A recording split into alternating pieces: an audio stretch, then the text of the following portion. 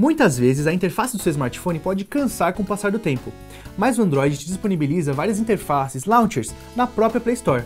Então confira as melhores launchers para Android.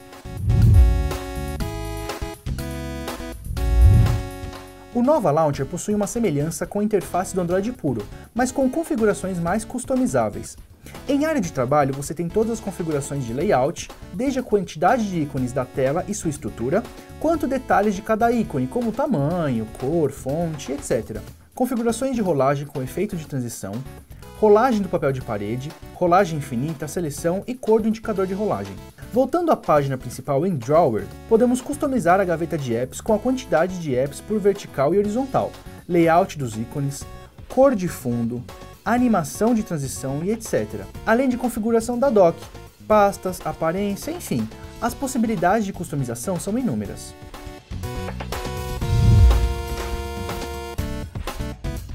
Para quem tem um smartphone de fabricantes como Samsung, Xiaomi, etc., o Android puro deixa saudades, justamente por ser simples e ter um desempenho ligeiramente melhor. Com o Google Now Launcher, você pode experimentar como é utilizar a interface de um Nexus. Aqui tudo se torna simples. Puxando para o lado esquerdo, você tem acesso ao Google Now, uma central de notícias misturado com o assistente pessoal. Ele mapeia todos os lugares onde você vai para montar uma rotina. Assim, quando você sair do trabalho, por exemplo, ele te avisa a situação do trânsito, no seu horário de saída.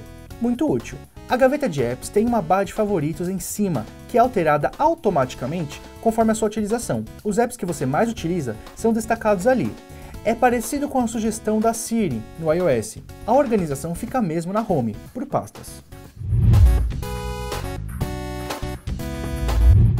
O Smart Launch 3 inicia com algumas configurações como app padrão de música, navegador padrão, app de foto e etc. O intuito dessa launcher é ser o mais prático possível. Na Home temos alguns atalhos disponibilizados em formato circular, Parece mais uma tela de bloqueio. Puxando da esquerda para a direita, os apps são organizados por categorias que serão identificadas de acordo com os apps instalados. A Launcher é bem inteligente, ela automaticamente organiza os ícones para você em categorias, facilitando a sua utilização. Quando o Zenfone foi lançado, muitas pessoas curtiram o design da interface modificada pela ASUS, por conta disso, ela disponibilizou sua interface para download na Play Store. De início, você pode selecionar a Launcher com ou sem gaveta, assim como já está sendo apresentado na TouchWiz do novo Galaxy S7. A Launcher é simples, basicamente todos os apps estão na Home, caso opte pelo modelo sem gaveta.